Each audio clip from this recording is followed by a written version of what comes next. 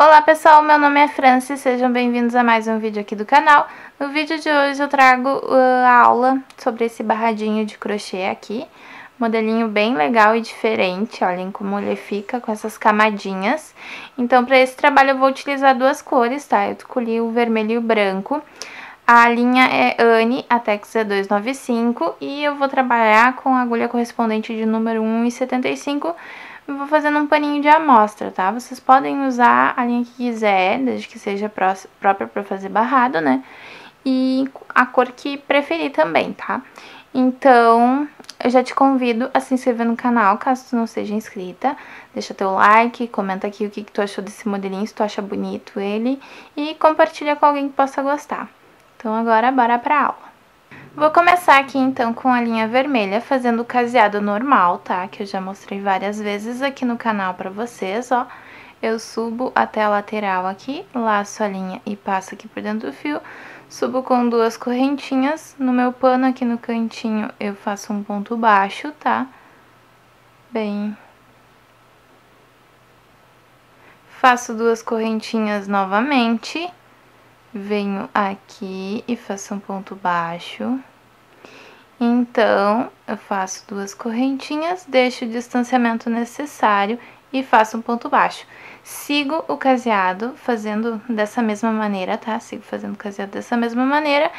E o detalhe aqui, então, é que na lateral que vocês forem fazer esse barrado, é importante que ele fique de 3 em 3, tá? Esse, esse barrado ele é múltiplo de 3, então vocês sempre vão contar 3, 3, 3, 3, 3 até o final para o modelinho que eu vou ensinar aqui dar certo, tá?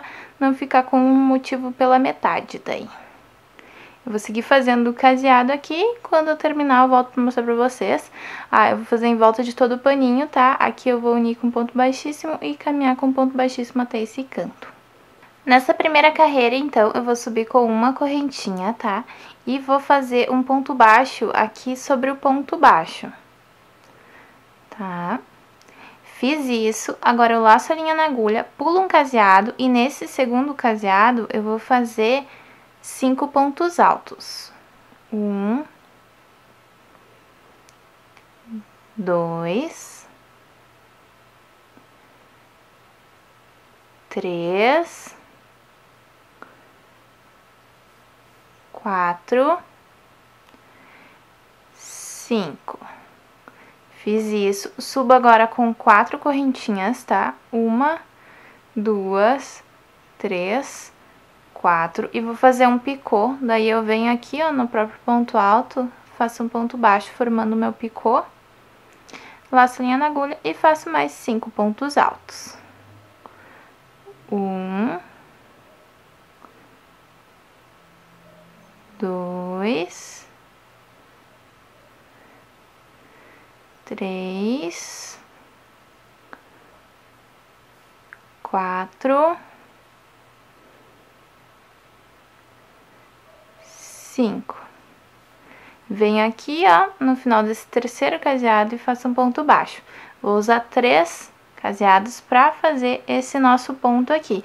Agora, eu só vou repetir o que eu fiz aqui, tá? Laço a linha na agulha, ó, deixo um caseado em branco. No segundo, venho e faço cinco pontos altos daí. Um. Dois. Três. Quatro. Cinco Subo com quatro correntinhas, duas, três, quatro. Venho aqui, ó, no último ponto alto e faço um ponto baixo, formando o meu picô. Então, faço mais cinco pontos altos dentro desse mesmo caseado. Um, dois, três, quatro, cinco. Venho aqui e faço um ponto baixo. e vai ficando assim, tá? Eu sigo fazendo assim até o final da carreira, vai terminar com um pontinho desses completo. Terminei a primeira carreira, então ficou assim, ó. Agora eu viro meu trabalho e vou para a segunda. Essa segunda, como a próxima carreira que a gente vai fazer em tom de branco, eu quero que ela fique, tipo, essas carreiras sobrepostas uma à outra.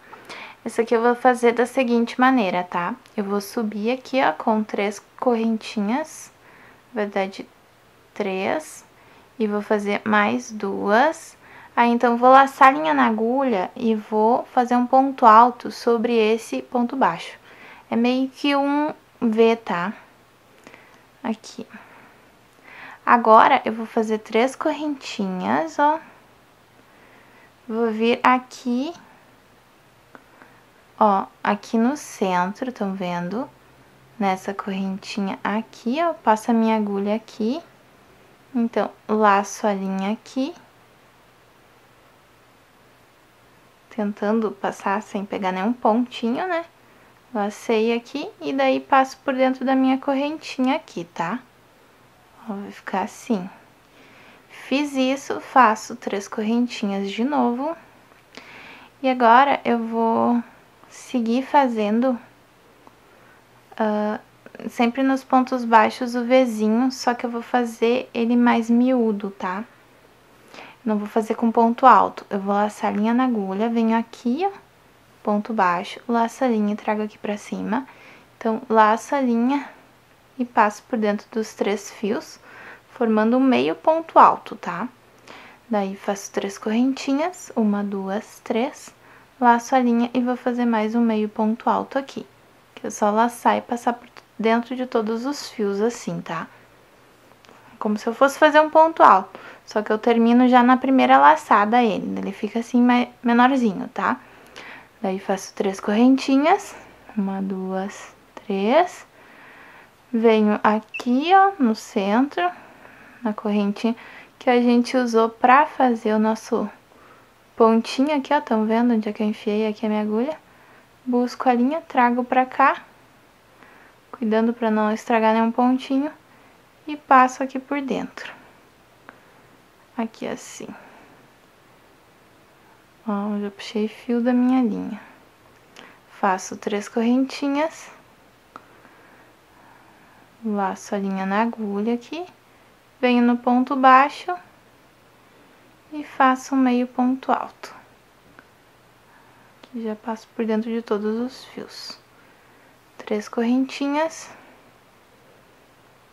Mais um meio ponto alto. E assim eu sigo até o final, tá? No final também a gente vai fazer da mesma forma. Vou fazer um Vzinho que nem a gente fez aqui, só que com meio ponto alto, três correntinhas e meio ponto alto. Vou seguir fazendo aqui. Quando concluir essa carreira, já pode arrematar, trocar de linha, tá? A gente vai pegar uma outra cor. Eu vou utilizar branca, pode usar a cor que tu preferir aí. Vou terminar aqui e já volto. Pessoal, agora eu vou começar a trabalhar com a linha branca aqui. Então, eu vou vir aqui no meu topo do meu meio ponto alto, vou deixar um pedacinho de fio aqui para remate, né? Que a gente sempre deixa. Aqui, vou subir com três correntinhas. Eu vou fazer meio desse ponto, não vou fazer ele inteiro, porque eu não quero que passe pra cá, tá? Muito, eu quero que fique parelho ao meu pano aqui na lateral. Então, eu fiz três correntinhas, vou fazer quatro para fazer o picô já, começar pelo ponto com o picô, aqui. Daí, eu venho aqui, ó, na minha terceira corrente de baixo para cima e faço meu ponto baixo. Fiz isso, agora aqui dentro desse Vzinho, eu vou fazer os cinco pontos altos, tá? Aqui, ó, um, dois três, quatro, cinco. Fiz isso. Agora, aqui atrás, ó, lembra que a gente fez um ponto baixíssimo aqui? Eu vou no, usar esse ponto baixíssimo, eu vou passar a linha aqui por dentro do ponto baixíssimo mesmo e vou fazer um ponto baixo aqui pra fixar esses meus pontos altos. Daí a lateral ela vai ficar parelhinha aqui, ó, tão vendo? Daí fica bem bonitinho. Daí eu laço a linha na agulha, pulo pro próximo V aqui e trabalho com esse mesmo ponto. Vou fazer os cinco pontos altos, porque agora ele vai ficar completo, né? Dois. Três. Quatro. Cinco. Então, subo com as quatro correntinhas, uma, duas, três, quatro, retorno aqui no meu ponto alto e faço um ponto baixo, formando assim o picô, laço linha na agulha, faço mais cinco pontos altos aqui, um, dois, três, quatro, cinco. Então, venho aqui, ó, no ponto baixíssimo e faço um ponto baixo. Os pontinhos ele vai ficando assim, olhem que gracinha. Ele fica bem legal assim, fica sobreposto, né? Um sobre o outro e fica bem bonitinho. Vou terminar essa carreira, quando terminar volto para mostrar a nossa carreira branquinha que fica por trás, que vai ser igual a segunda carreira aqui de vermelho, tá? Já volto aqui. Gente, aqui na finaleira da carreira, quando eu faço o picô no quinto ponto alto, tá? Eu fiz cinco pontos altos, eu já fiz o picô. Eu vou descer com três correntinhas aqui, ó, pra facilitar a nossa vida, né? Aqui, e venho aqui embaixo, ó, e faço um ponto baixíssimo daí. Facilitar a nossa vida no que eu digo pra próxima carreira. Então, eu vou virar aqui, né, o meu trabalho. Ó. E daí, a gente tá, né, no centro do leque. Aqui no cantinho, eu vou fazer três correntinhas. Uma, duas, três. Laço a linha na agulha. Vem aqui, ó, sobre o ponto baixo do branquinho aqui e faço meio ponto alto. Como a gente fez na, com o vermelho antes, tá? A gente só começa diferente porque a gente terminou diferente a carreira faço três correntinhas, laço a linha na agulha, venho aqui e faço meio ponto alto. Faço três correntinhas, sigo fazendo que nem eu fiz no vermelho agora, ó, venho aqui por baixo e faço um ponto baixíssimo aqui. Então, faço três correntinhas, Laço a linha na agulha, venho sobre o ponto baixo e faço o meio ponto. Aqui. Faço três correntinhas, essa linha e faço meio ponto. E assim eu sigo até o final da carreira, tá? Quando terminar, já dá para arrematar para a próxima também. A próxima eu vou voltar a fazer com vermelho. Vocês podem usar mais que uma cor, tá? Podem usar... Uh tanto vermelho, branco, amarelo junto, umas três, quatro cores, como quiserem. Mas vai ser sempre assim daí, tá? Vou fazer até o vermelho, só pra mostrar aqui pra vocês daí. Vou concluir e já volto. Pessoal, agora eu vim aqui, ó, no ponto baixíssimo que eu fiz, que a gente fez, né? Com a linha vermelha, deixei um pedaço, venho aqui e faço como eu fiz a primeira carreira, tá? Lá subo com um ponto baixíssimo, venho, faço um ponto baixo. Então, laço a linha na agulha, pulo aqui, ó, pro meu Vzinho, estão vendo? E faço cinco pontos altos daí. Um. Dois. Três. Quatro. Cinco. Então, eu faço quatro correntinhas para fazer o meu picô, né? Venho aqui, faço um ponto baixo no meu ponto alto, último ponto alto, faço mais cinco pontos altos. Um, dois,